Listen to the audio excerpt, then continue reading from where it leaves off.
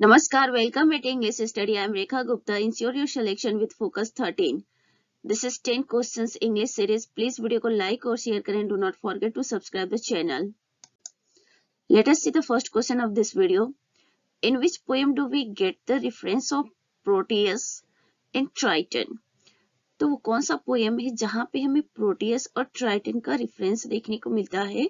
तो that is the world is too much with us William Wordsworth का poem है the world is too much with us ये sonnet है इनका इसी सोनेट में वर्ड्सवर्थ ने प्रोटियस और ट्राइटन का ज़िक्र किया है it is a Petrarchan sonnet criticizes the world of the first industrial revolution for being absorbed in materialism and distancing from nature.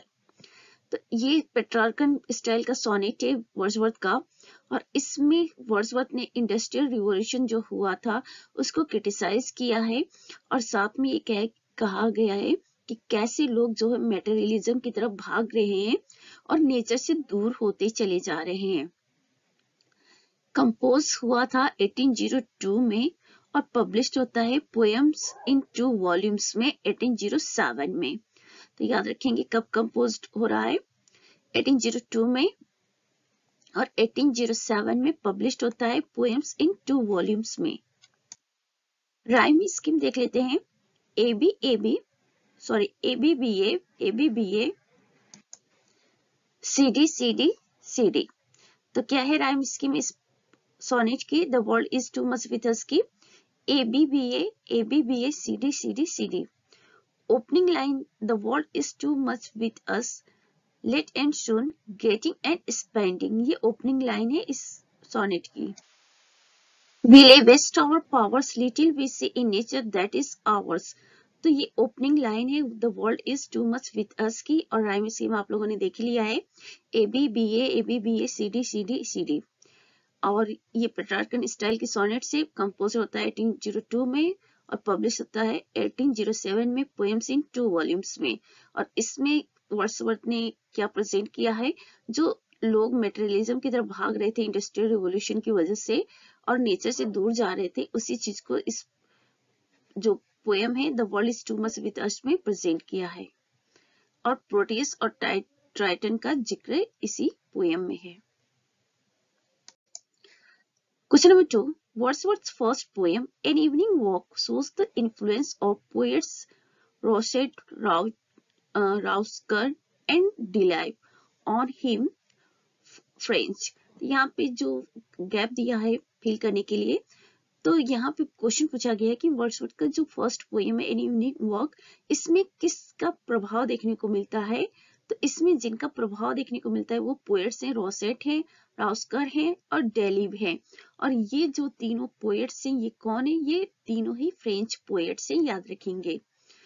तो वर्ड्सवर्थ की जो first poem an evening walk है, उसमें फ्रेंच पोएट्स रोसेट रॉकर और डेलिप का influence देखने को मिलता है।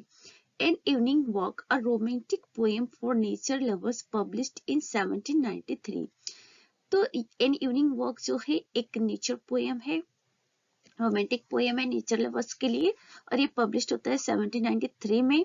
कंपोज्ड होता है, ये कब कंपोज किया था विलियम वर्सवर्थ ने? जब ये स्कूल लाइफ में थे, और इसमें एक यंग लेडी को एड्रेस किया गया है that is his sister Dorothy याद रखेंगे, उन्होंने अपनी सिस्टर डोरोथी को एड्रेस करके इस पोएम को लिखा है। और जब ये स्कूल टाइम में थे, तभी ये कंपोज हुआ था।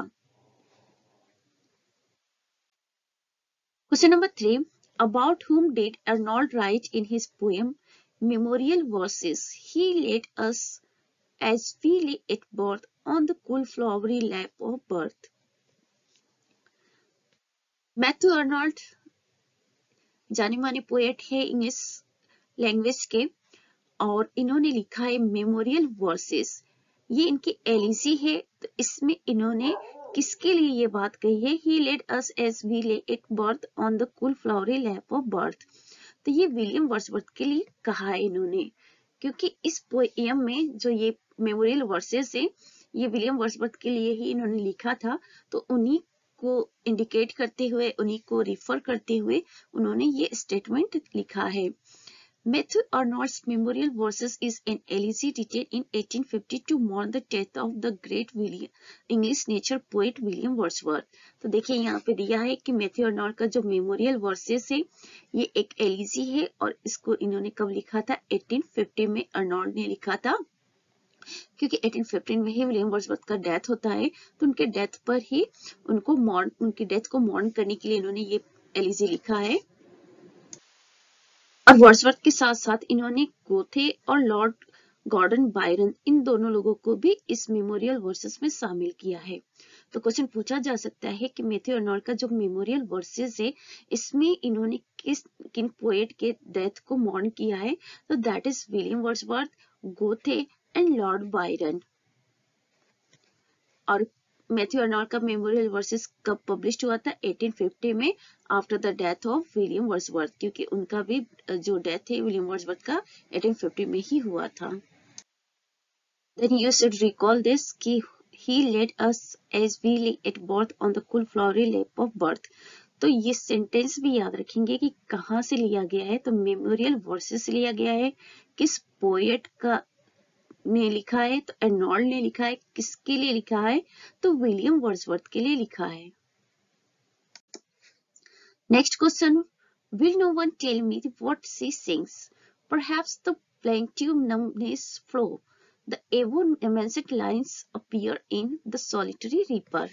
तो देखिए यहाँ पे विलियम uh, का ये पोएम है द सॉलिटरी रीपर इसमें वर्ड्सवर्थ लिखते हैं कि will no one tell me what she sings क्या कोई मुझे नहीं बताएगा कि वो क्या गा रही है? तो जो सॉलिटरी रिपर में जो लड़की होती है, वो फ़सल काट रही होती है और काटते हुए वो सिंगिंग भी कर रही होती है। शॉरफुल सॉन्ग को, एक सैड सॉन्ग को सिंग कर रही होती है। तो वो स्कॉटिश लैंग्वेज में गा रही होती है। वर्ड्सवर्थ को ये पता तो रहता है कि उसके जो सॉन्ग्स है, वो शेड सॉन्ग्स है बट वर्ड्सवर्थ ये नहीं जान पाते हैं कि वो क्या गा रही है बिकॉज़ ऑफ़ लैंग्वेज डिफरेंस तो ये सॉलिटरी रिपर से सेंटेंस लिया गया है, याद रखेंगे quotation will no one tell me what she sings perhaps the plaintive numbers flow a lyric poem है ये 1807 में पब्लिश्ड होता है inspired by his and his sister stay at the village of Strathyre in the parish of Balquhidder in Scotland. तो Wordsworth और इनकी जो sister Dorothy थी, ये दोनों लोग स्टे किए थे एक विलेज में स्ट्रेट हायर में, जहाँ पे स्कॉटलैंड में बाल की बाल हीडर नाम का जगह है। वहीं पे एक छोटा सा विलेज है, स्टेट हायर वहीं पे ये दोनों लोग स्टे किए थे। वर्ड्सवर्थ और उनकी सिस्टर डोरो तो उसी टाइम में ये इंस्पायर्ड होकर इन्होंने ये पोएम लिखा था और जो थीम है इस पोएम की इवरलास्टिंग ब्यूटी एंड सॉरो है। तो याद रखेंगे what is the theme everlasting beauty and sorrow और इस पोएम में किसका मेंशन किया गया है? तो एक स्कॉटिश गर्ल का मेंशन किया गया है who was reaping the crops and sorry reaping the uh, crops and also she was singing a sad song. Next question. The line the soul was like a star and dwelt apart appear in London 1802. तो देखिए London 1802 ये भी शॉनेट है William Wordsworth का और इसमें ये line है thy soul was like a star and dwelt apart तो ये याद रखेंगे। और ये लाइन किसके लिए वर्ड्सवर्थ ने लिखा है? जॉन मिल्टन के लिखा आ, के लिए लिखा है। एक्स्ट्रा फैक्ट्स देख लेते हैं। London 1802 is a Petrarchan sonnet on John Milton published in poems in two volumes 1807 तो ये इनका पेट्रोर्कन सोनेट है, जॉन मिल्टन के लिए इन्होंने लिखा है और ये पोएम्स इन टू वॉल्यूम्स में 1807 में पब्लिश्ड होता है। थीम क्या है? Worry about England moral and intellectual decline इस सोनेट में वर्ड्सवर्थ दिखाते हैं कि जो इंग्लैंड है, उसका मॉरल और इंटेलेक्चुअल डिक्लाइन कैसे हो रहा है। राइम स्कीम देख लेते हैं। A B B A B B A C D D E C E ये राइम स्कीम है लंदन 1802 का। It is written the second person and address the late poet John Milton second person के form में लिखा गया है ये poem और जॉन मिल्टन को एड्रेस करता है। तो क्या क्या चीज़ आपको याद रखना है इस क्वेश्चन में? First thing is that thy soul was like a star in dwelt apart ये सेंटेंस किस पोएम से लिया गया है? तो लंदन 1802 से लिया गया है। ये किसकी पोएम है? विलियम वर्सवर्थ की है। इसमें किसके बारे में लिखा गया है? तो जॉन मिल्टन के बारे में लिखा गया है। दाई शोल मतलब किसका शोल? जॉन मिल्टन का शोल। और फिर साथ में 18 लंदन 1802 जो है, ये पेट्रार्कन सोनेट है। पोएम्स इन टू वॉल्यूम्स में पब्लिश्ड होता है 1807 में। थीम है इंग्लैंड की मॉरल और इंटेलेक्चुअल डिक्लाइन। एक्चुअली इस पोएम में जॉन मिल्टन इन्वोक करते हुए वर्ड्सवर्थ बताना चाहते हैं कि देखिए जॉन मिल्टन को इंडिकेट करते हैं कि आपका इंग्लैंड कैसा हो गया है, किस तरह से मॉरली और इंटेलेक्चुअली डिक्लाइन हो रहा है। अगर आप होते तो अपनी पोएम से आप क्या करते, लोगों को अवेयर करते, जागरूक करते, ऐसा वर्ड्सवर्थ ने इस पोएम में लंदन 1802 में कहा है। Next question who has written the inner vision inner vision किसने लिखा है? तो विलियम वर्ड्सवर्थ ने लिखा है, याद रखेंगे।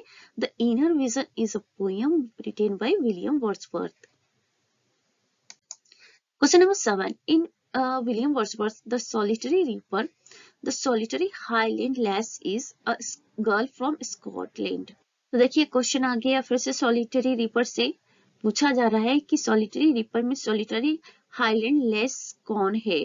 तो लेस का मतलब होता है लड़की और सॉलिटरी हाईलैंड हाईलैंड यूज़ किया गया स्कॉटलैंड के लिए। तो अ गर्ल फ्रॉम स्कॉटलैंड याद रखेंगे। Next question Wordsworth the borderers comes under the category of verse tragedy तो विलियम वर्ड्सवर्थ का जो द बॉर्डर्स है, वो एक प्ले है ट्रेजिक प्ले है, और ये वर्स ट्रेजिडी के कैटेगरी में आता है।